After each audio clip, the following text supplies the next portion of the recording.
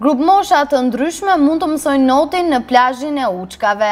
Mësimet e notit ofrohen falas nga Bashkia Pogradec, nga tre instruktorë noti. Në plazhin e Uçkave janë të shumtë fëmijët, të cilët janë të interesuar për të mësuar dhe praktikuar sportin e notit. Një ndër instruktorët është edhe Vladimir Mato, i cili tregon rreth kësaj nisme, që sipas tij është shumë e vlefshme për fëmijët.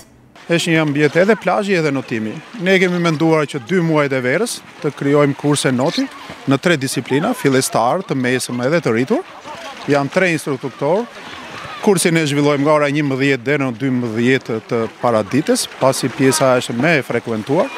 Të bësh not, përveçse një kënaqësi vetjake, është gjithashtu një sport tejet i përhapur dhe i vlerësuar kudo. Instruktori Mato, shprehet se këto mësime janë një mundësi e mirë për të filluar një sport kaq interesant si noti. Njerëzit i ftojmë që të vijnë të mësojnë edhe notin edhe të pushojnë, Çdo gjë është falas. Ka grupmosha të ndryshme, fillojnë nga shtatë vjet deri në pesëmbëdhjetë vjet. Nuk ka sport më të bukur për mua për notin.